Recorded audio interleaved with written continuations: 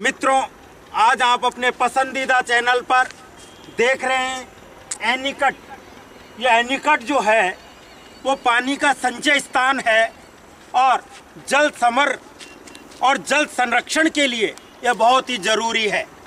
आप देख रहे हैं, इस तरह से ये पूरा खेतों का पानी, वर्षा का पानी यहाँ पर आ जाता है और आकर के यह इकट्ठा हो जाता है। इकट्ठा करके यहाँ पर एकत्र करके और यह जब ओवरफ्लो होने लगता है तो आगे के लिए, अन्य खेतों के लिए चला जाता है। ये जो वर्षा का पानी है, ये बहुत ही काम का, इससे जीवों को भी रक्षा, मानव के दैनिक जीवन की आवश्यकता की पूर्ति, सिंचाई की पूर्ति, खेतों और कृषि के लिए बहुत ही आवश्यक, जल का धरती में प्रवेश करना और इस क्षेत्र में जो जल का समर है, वो भी संभव हो पाना, ये इसी के द्वारा हो पाता है। आप देख रहे हैं कि किस तरह से यह जल समर हो रहा है। पेड़ों पर पक्षी भी कलरव कर रहे हैं। पानी धरती में रिश्ता भी जा रहा है, जल का स्तर ऊँचा होता जा रहा है, जिससे कुओं का स्तर, नलकूपों का स्तर ऊँचा हो रहा है। और इनका स्तर ऊँचा होने से भूमि में जो दोहन है, उसको भी संरक्षण मिलता है और ऐसी स्थिति में हम देखें तो जल का समर होना भी ज़रूरी है और जल समर होगा तो ही धरती का विकास भी होगा।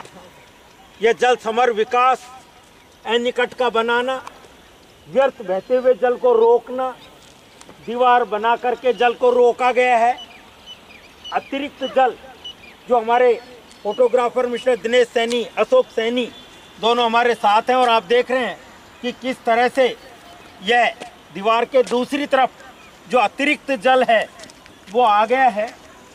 वहाँ भी फिर तीसरी लेयर भी बनाई गई है कि बीच में भी पानी इकट्ठा रहे, पशु पक्षी भी उसको समय समय पर पीते रहे।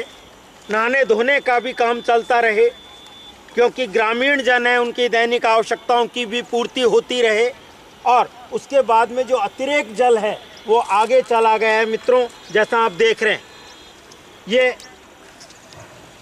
जो आगे का पार्ट है, खेत नीचे हैं, उन नीचे खेतों में भी इससे सिंचाई की सुविधा मिल जाती है, और यह बहुत ही उपयोगी साबित होता है। यदि एनिकट नहीं होता तो यह वर्षा का जल व्यर्थ रूप से बहकर चला जाता और व्यर्थ रूप से बहकर नहीं जाए, उस जल को रोका जा सके और काम में लिया जा सके। यही है जल समर का विकास।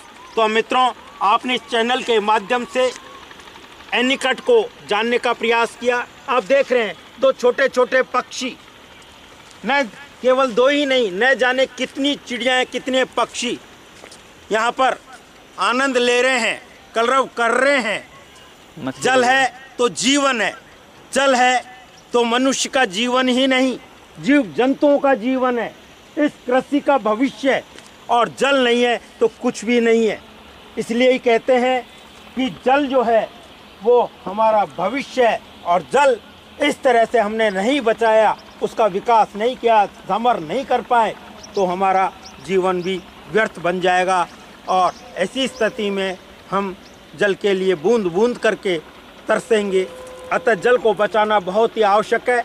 मित्रों, इस चैनल के माध्यम से आपने इस जानकारी को हासिल किया, अपना मूल्य समय प्रदान किया। धैर्यपूर्वक इसको सुना।